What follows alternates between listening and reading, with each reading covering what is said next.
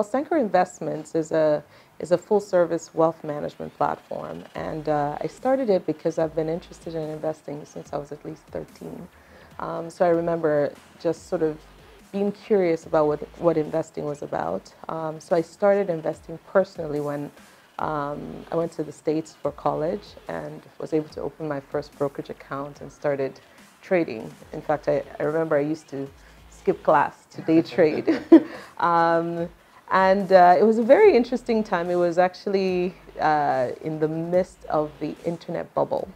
Um, exactly. So 98, 97, 98, 99. And it was a very interesting time to learn about investing because I definitely lost what little money I had.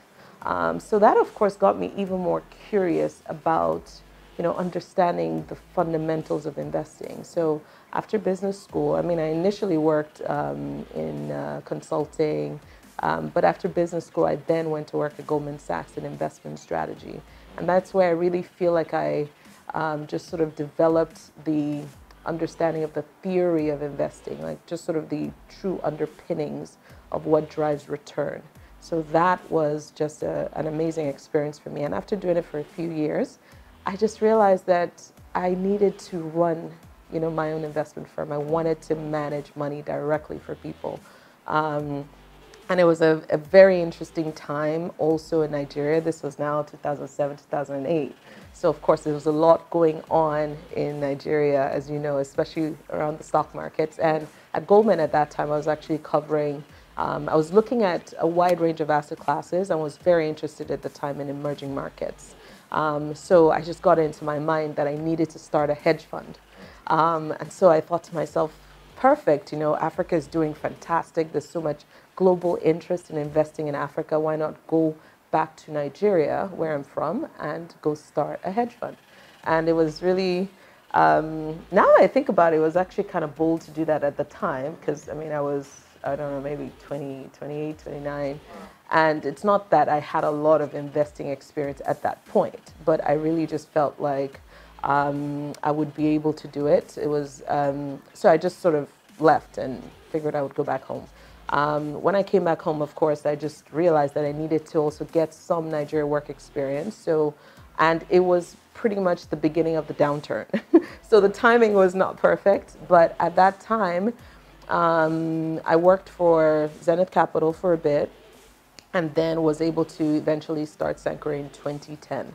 And I was truly oblivious to just sort of how difficult it was going to be. I was so driven to do this and to actualize my vision. So I just sort of went in um, and just still determined to start a hedge fund. Um, however, it was very hard to raise money, especially globally. And I realized that there was actually quite a big pool of capital that really wasn't properly managed, and it was mostly individual funds. Um, and so that for me became an interesting place. And I actually stumbled upon it by accident. As I said, I was running a company that was set up to uh, run hedge funds. Um, and I remember having one client who invested possibly, I don't know, it was more than 60, 70% of their net worth in our hedge fund. And I didn't know at the time that it was that large an amount. Generally, you know, globally, you're supposed to, uh, you know, the people who invest in hedge funds are supposed to be sophisticated clients um, and very high net worth individuals who kind of know what a hedge fund is and the level of risk. But it just it just made me realize that the level of sophistication of even HNI clients in Nigeria is slightly different. I, I wouldn't say it's worse, but the way they understand investments is completely different because Nigeria is just such a different place. Um, so it just sort of showed me that there was an opportunity here to set up something where we would provide investment strategy and guidance to clients while helping them invest at the same time. So that was really just sort of the, the impetus to start the company.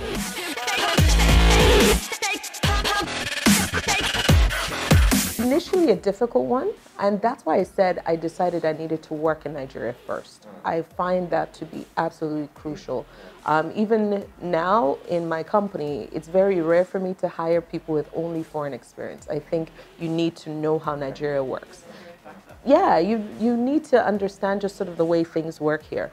Um, one of the big things is when you work in Nigerian investments, you have to know everything end to end. And as, when, by that, I mean especially the operational backbone of everything. Um, in developed markets, you don't know all of that, you know, and that was actually the big thing for me is when I got here, having to understand what a registrar does, a custodian does, all those kind of things. Um, you know, you know, working, I mean, trading abroad, you don't really even think about it. It's just fully, you're not chasing your registrar around for your dividend. It just gets credited to your account by magic. So working in Nigeria, you have to um, know much more about the entire cycle of investments. So you have to be much more of a jack of all trades. So for me, that was the transition, having to understand all of the bits and not just focusing on what the markets are doing and so on and so forth. You take, for example, you can invest in a security that makes a lot of sense, and just you not having your operational system set up, you can lose money. You know, maybe just the custodian you have it with just did not collect your entitlements. There was a bonus that was declared. Even that, you know, just the way all those kind of things work in Nigeria, you have to understand it end to end. Um, and that's one of the reasons we're actually very passionate about technology as well. We've done a lot in that space, and even now we're launching um, a wealth management platform that's just targeted towards people who want to get some of this same uh, wealth management advice and um, processes, but already just sort of simplified so that your experience at the front end just doesn't involve all of the mess in the back end. Um, so we actually just launched a platform called wealth.ng, and our goal there is to give people more of a simple experience with regards to their investing. So again, as you said, it was definitely, you know, a difficult transition, but it's one that we've actually spent a lot of time at Sankore trying to get the operational back end clean in order to give our clients an experience that is um, just simple. So, you know, I, I read that you, you know, you work with clients such as Zenith Capital, Diamond Bank. Yeah, yeah. Um, you know, you mentioned under, wanting to understand the Nigerian factor. So yeah, yeah. With working with clients like that, what has that taught you about um, just the Nigerian um, ecosystem, mm-hmm. financial ecosystem, mm-hmm. investing mm-hmm. Talk to us a little bit about that. Working with clients here, again, our work with clients is actually quite varied. Um, our company, even though we're a wealth management firm, we focus on a range of things. Um, so we do fund management, we do trust, we also have a registrar. So uh, our clients actually fall into many different categories. At the end of the day, our key priority is the wealth management needs of individuals, but our clients, we engage with them on many different, you know, levels. Um, so take, for example, for, for Diamond Bank, we, um, I mean, now Access, but formerly Diamond Bank, we actually provided their uh, privilege banking, which is their private banking unit, with um, uh, just sort of uh, white labeled investment products. Um, so that means, for example, that a lot of banks, um, as, as you know, universal banking means that most banks no longer have their own investment subsidiaries. Um, so it means that they still have a need to provide some of these services, and we um, you know, have been able to step in and say, look, we can provide this white label service for you on the back end. Um, so one of the things that we definitely learned is that, you know, a lot of uh, Nigerian financial institutions, you know, have uh, very broad offerings, uh, but sometimes they may be missing depth in particular areas. Um, and they're aware of this, and that's why, again, they like to work with firms like us that can help provide them with you know, further depth along certain lines. Um, so uh, we actually find that in Nigeria, very few banks have a proper private bank as defined um, based on global standard, you know. Um, and it's something, as I said, a lot of banks are aware of. But they make so much money in the rest of their business. Private banking being much more of a long-term type of business is something that they haven't always focused on. Um, but some of the, um, as you know, again, there are three banks who actually have the group structure. So they, of course, focus on it and do an amazing job at it. Um, but the, a lot of the other banks uh, who don't focus on this as a primary focus are the ones who look at companies like us to come help them just provide more of a white labeled approach, which, by the way, is in line with global practice. Um, globally, actually, a lot of wealth management firms and private banks use third party products. It's only in Nigeria that everyone wants to do everything themselves, you know, so that's part of the Nigerian factor you see. It's just this desire to control. Um, but, you know, true partnerships and collaborations can actually allow you to provide much more, many more services to your clients and keep them happier.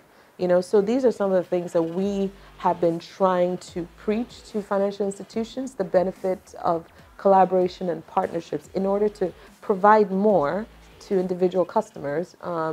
Because um, again, you can be trying to keep this client all to yourself, um, but then they will leave you, um, and you will probably only get a small uh, wallet share, you know, because you're not meeting all their needs. So again, that's those are some of the things that we've seen just sort of working with Nigerian financial institutions generally. What are they most worried about in today's Nigeria? Yeah, yeah. Uh, how are you helping them ease some of the worries? Yeah. You know, Nigeria doesn't have a lot of intergenerational wealth.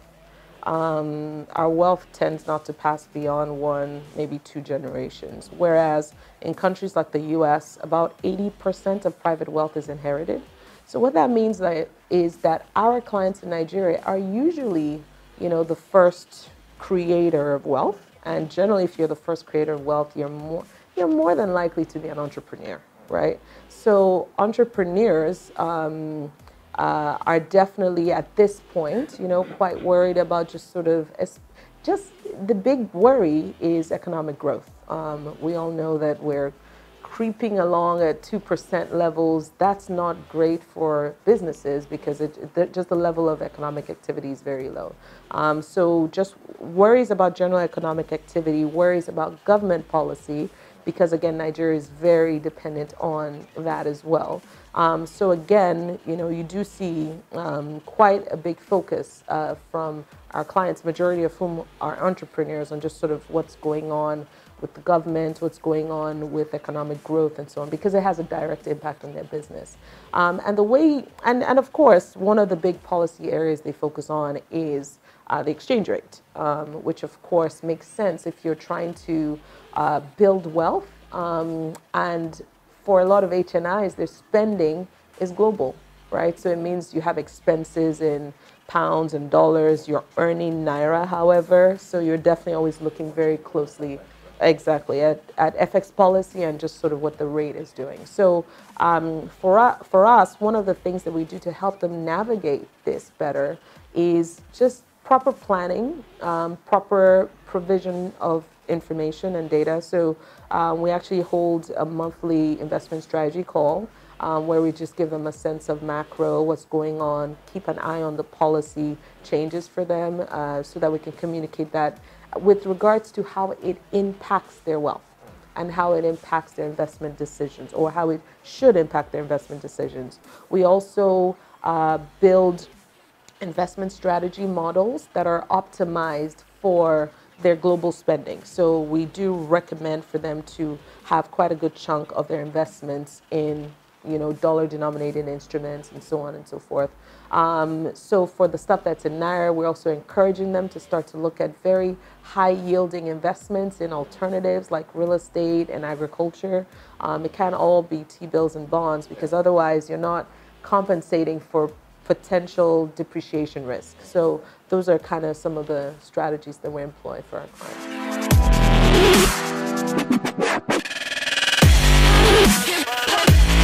I'm actually really glad you asked that question because it's quite an area of passion for us. Um, um, one of the things that I tell people is look, um, you have to understand that investing is generally the key to unlocking wealth, um, both for individuals but also for nations at a you know at just sort of the largest level. Um, and for us, we have a big mission. Our big mission is not to make rich people richer our big mission is to drive and grow Nigeria's wealth through the deploying of investment assets. We really believe that um, Nigerians unfortunately focus too much on what the government should do rather than what we can do ourselves with our investment money. Um, so because of that, we actually really believe, strongly believe, that HNI have a very strong responsibility to the country through investment. Um, we're so dependent on FDI. We're always sitting here complaining about foreign portfolio investors taking their money out. Why should we be that dependent? Why, for example, should the stock markets drop by 20% because foreign portfolio investors took their money out? Why don't we have enough people here investing in the, our stock markets. Of course, there are many reasons for that, but part of it is also just a lack of proper guidance. Part of it is a lack of proper, um, just sort of uh, investment and portfolio allocation. Um, so we really do think that, you know, there's a strong responsibility on the side of HNI to solve Nigeria's problems, and but they're not none of these guys are, you know, of course, many of them may be interested in legacy building and philanthropy and so on, but they're, most of them want to build wealth for themselves first. Um, so our objective, uh, the big objective that we um, have is how do we marry the two? How do we get uh, Nigerian HNI to invest in sectors that are beneficial for the economy but also beneficial to their own personal portfolios. We actually find that some of the best investments, some of the best investment ideas do both. Um, one of the key issues that we've seen over the last several years of working with HNI in Nigeria is the average Nigerian HNI's portfolio is underperforming inflation.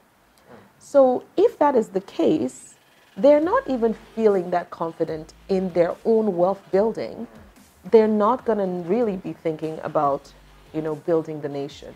Um, and the big reason that is, is most of them are invested, too much of their portfolio sits in low yielding real estate. Um, now, there's lots of high yielding real estate that's actually, you know, um, that can actually just sort of uh, be beneficial towards economic growth. But unfortunately, the majority of HNI put their money in three bedroom flats in luxury areas and so on and so forth. And that is actually not really that beneficial um, because, again, uh, rental yields are so low. Rental yields are 3 to 5%. So if you have 50 to some clients as high as 80% of your portfolio in real estate um, and it's low yielding real estate, then your, your total portfolio return, even if the rest is in high yielding fixed income, is not going to be more than six, seven, eight percent. And that means you're not building true wealth for yourself. Whereas there, there are actually um, uh, subsectors of real estate, commercial real estate, um, low income type of real estate that can yield as high as 20, 25 percent. Um, we're looking right now at uh, some student housing opportunities for our clients that can yield as high as 18 to 20 percent. Guess what? That's the type of investment that HNIs really should be putting their money into. If an HNI uh, invests in student housing, that means students, who by the way, majority of them live in really terrible conditions, students can actually live in a better situation and we've actually created value for both sides. So for us, we, we spend a lot of time trying to think about how to find that sweet spot, the sweet spot between um, where HNIs actually make more money than they currently are, because that's the only thing that will drive them to keep investing, and there is some benefit to our country. Um, so for us, that you know, that's why we spend a lot of time looking at real estate, looking at agriculture, uh, venture capital, and so on. So we do a lot of uh, alternative we, we look a lot at um, alternative investment opportunities to show our clients because we really do think that there's a, there's a strong need for us to aggregate capital in, in order to solve an, our nation's problem.